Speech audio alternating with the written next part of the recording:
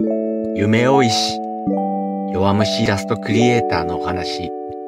永田絵本。その10小学生の頃僕は生まれて初めて女の子からバレンタインチョコレートをもらった。恋文と一緒にね。恋愛とか僕にはまだ早すぎてよくわからなくて戸惑ったのを覚えてる。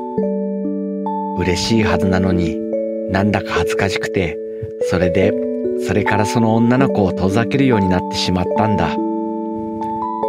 僕は本当に幼くて優しくなかったなってすっごく反省してる。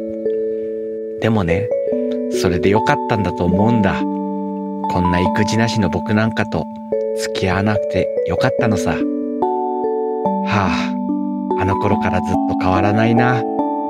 ダメだな。僕の育児なし。変わろう。永田絵本。